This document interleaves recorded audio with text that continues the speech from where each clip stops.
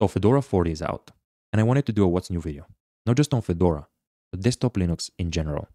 And I like to do this with Fedora because Fedora releases every six months, and the included packages always have very recent versions. In addition to that, with Fedora, you get an unaltered vanilla GNOME experience. In fact, I think Fedora gets a lot of hate for that. You would frequently hear that Fedora is boring because um, because the packages they really don't customize the desktop environment much. You wouldn't see a custom theme like Ubuntu does, a font, custom applications that are specifically crafted for the distributions, like Ubuntu does with their software center, for example. Fedora would include GNOME software. They would actually contribute to the development of the GNOME desktop environment rather than build their own software to include in the distribution. In my opinion, saying that that is boring and disliking Fedora for that reason is a very big misunderstanding about where the value in a Linux distribution is. There's a lot of open source software out there, a lot of good software. There are many options about how to configure a distribution. And the biggest value of a distro is integration testing and shipping a polished operating system with tested, battle tested open source components so that they work together well and the entire thing looks polished. That's extremely hard. And I think Fedora is one of the best, most well integrated and polished distributions in the Linux world right now, without a doubt. But for that reason, first of all, I really like Fedora as an operating system. And I really like checking out the new releases because I can focus not on customizations done by the team that is assembling the distro, but I can focus on the new features in GNOME, the Linux kernel, the applications, the new versions that are included in the GNU toolchain. And that's what this video is going to be about. And I'll start with the newest GNOME, of course, which is GNOME 46, that's included with Fedora 40.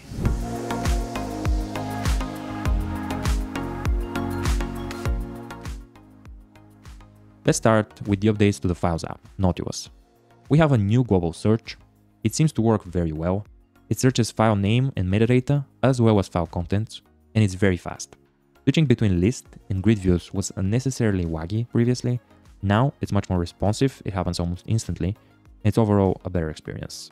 The file operations progress is now moved to the sidebar at the bottom. There's a new dynamic progress section. When you execute file operations, it appears and you can click on it to see more details about the progress of file operations. There are small updates to the settings app in terms of user interface and performance. The appearance panel will now load faster than before and the previews of the wallpapers should be sharper. The new system panel groups region and language, date and time, remote desktop and about into one settings panel. There are also more minor updates across multiple applications. Let's talk about some of them. The software app shows a verified patch now next to trusted applications. Maps now supports dark mode, and you should see improvements in public transport routing, although I couldn't verify those. The Clocks app now includes a quick timers function, which allows you to use these timer presets to start a timer quickly. Desktop notifications are now more organized, they are grouped by application, and they are expandable so that they show fewer details at first. It is a welcome change and more up to date with industry standards for how notifications are handled in terms of user experience, and we're used to that already on our Android and iOS phones.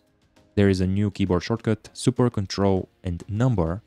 Previously, super and number would start an application based on the number left to right.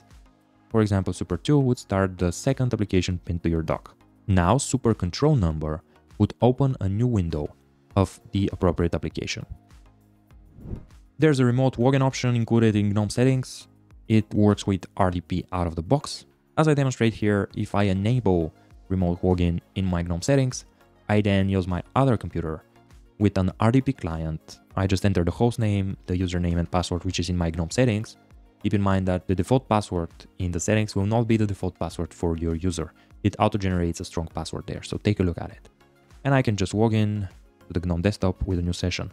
It worked flawlessly without any hiccups.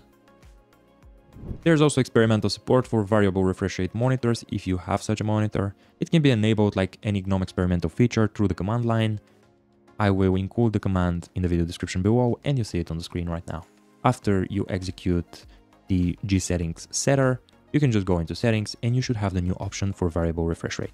Fedora 40 ships with Linux kernel 6.8 and as with any kernel release, there are so many small changes, preparations for future hardware, driver updates, many things. Now, the big ones I think you might care about are the Intel Xe DRM driver, of course, display driver for Intel, the newer Intel integrated graphics. Of course, if you have an Intel CPU with Intel Xe graphics, this will be a big one for you. You're getting a brand new display driver. Additionally, if you are an Intel user with a Meteor Lake CPU, there have been uh, adjustments have been made to the Intel P-State CPU frequency so that your CPU would be able to hit its advertised boost speed now. In previous kernel versions that apparently couldn't happen and you were short with about 100 MHz. AMD Ryzen 7000 series laptops were apparently suffering from radio frequency interference issues with Wi-Fi and GPU memory clocks. And Linux kernel 6.8 includes AMD RFI mitigations, which should resolve this issue. Overall, my experience with Fedora 40 has been great.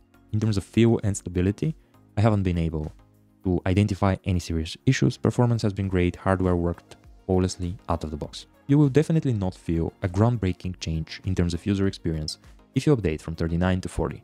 But there are small changes everywhere aimed to provide a more polished experience and make your life a little bit easier, which is nice to have. With this, I'll wrap today's video. If you enjoy the content, don't forget to subscribe to get notified when I release another video. Take care.